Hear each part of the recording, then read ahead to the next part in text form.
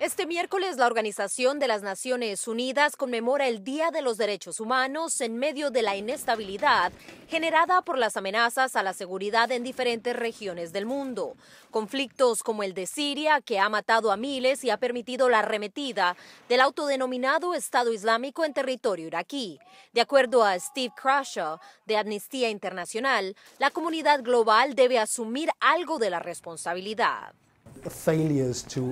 Por las fallas para actuar mejor y tempranamente en el conflicto en Siria y pronunciarse fuertemente, así como para poner la clase de presión necesaria para que los derechos humanos fueran observados. Kenneth Roth, director de Human Rights Watch, afirmó que Rusia, cercano aliado de Siria, debió pronunciarse en contra del uso de barriles cargados con explosivos que fueron lanzados por el gobierno sirio desde helicópteros y causaron la muerte de miles de civiles.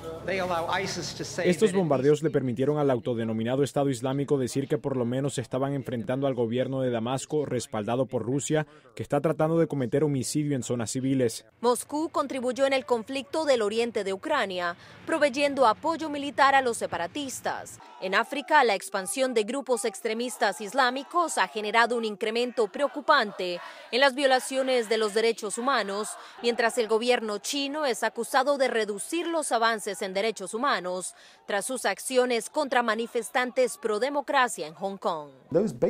Esos derechos básicos de libertad de reunión y expresión simplemente están siendo negados. Este Día de Derechos Humanos 2014 es un recordatorio del gran número de abusos y violaciones que todavía se siguen cometiendo en muchas partes del mundo. Desde Nueva York, Celia Mendoza para La Voz de América.